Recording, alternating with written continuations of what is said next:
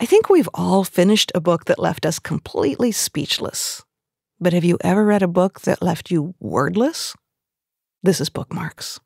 This is Martin Amis, author of The Rub of Time.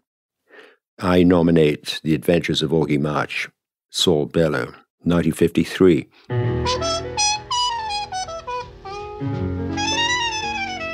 With the publication of that book, the great American novel had found its true home.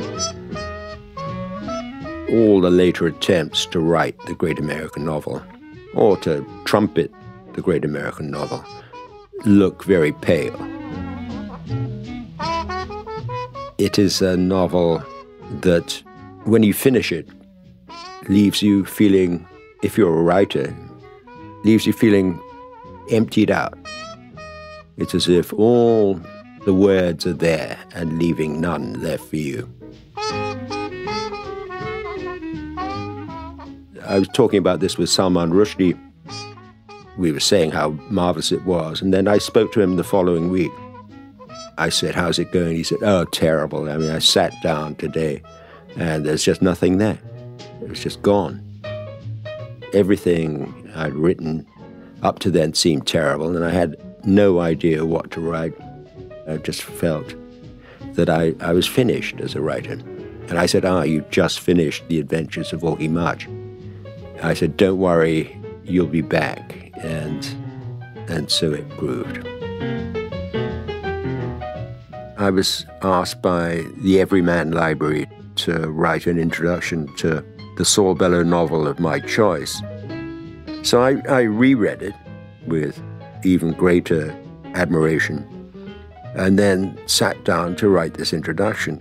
And I've never felt so, as Salman said, so emptied out and so incapable of producing even a sentence. And I don't know of any novel that has this sort of eviscerating effect. That makes it sound as though it's depressing, but it's not. It's awesome. And it's sustained, too. I was teaching a class with Saul Bellow in Boston, and our moderator said, We were talking about Conrad, and he said, It's a mistake to think that a novel is about something. And I agree with that. I think a novel is around something, but not about something. And then he turned to Saul and said, What's Augie March about?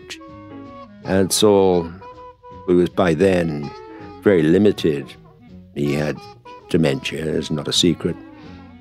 He said, It's about 200 pages too long. And I thought, well, maybe you feel that now, but for others, it's about 200 pages too short. The book is The Adventures of Augie March by Saul Bellow. Martin Amis is the author of London Fields, Time's Arrow, The Night Train, and The Rub of Time, among others.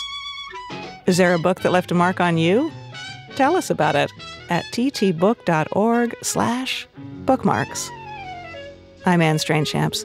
Bookmarks are brought to you by To the Best of Our Knowledge.